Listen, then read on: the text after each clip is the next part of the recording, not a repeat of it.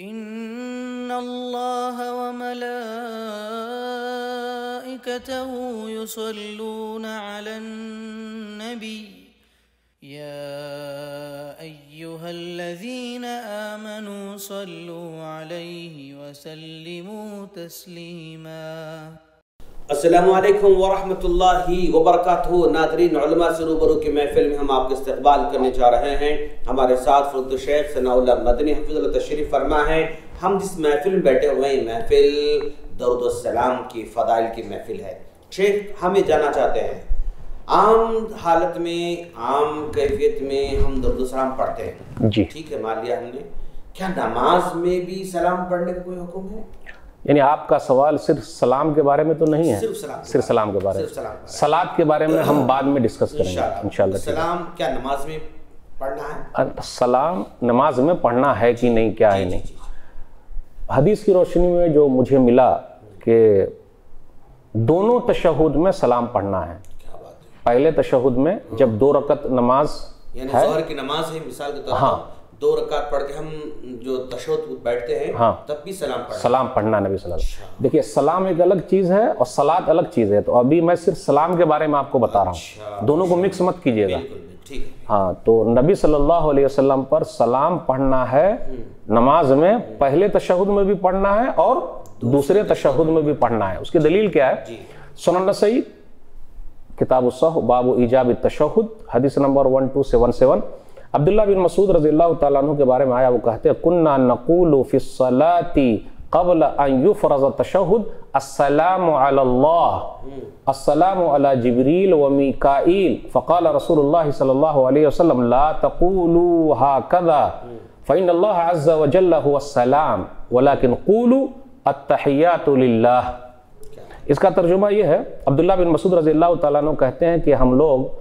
नमाज़ में पढ़ते थे। क्या पढ़ते थे?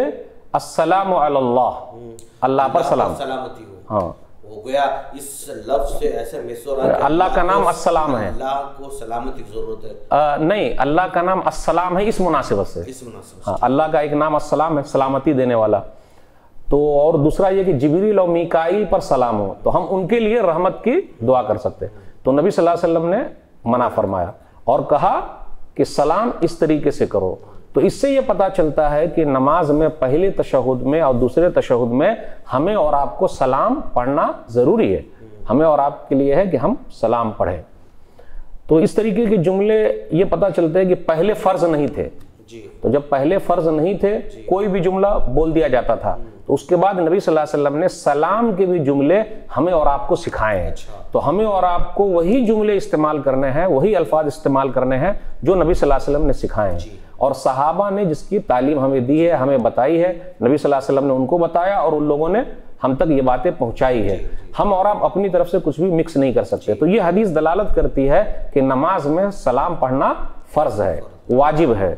और ये पहले तशहुद में भी है और दूसरे तशहुद में भी है। वल्लाह आलम तो आप वो सलाम के जो कलमात हैं हाँ वो इंशाल्लाह फिर और किसी और मजलिस में। हम आपसे गुफ्तु करेंगे शेखना। क्योंकि जुमले बहुत सारे हैं अल्फाज बहुत सारे हैं। जी जी और आप एक ही मजलिस में पूछना चाहते हैं तो कैसे होगा वक्त हयाकल्ला शेख। नाजरीन के काफ़ी कीमती वक्त है उनका।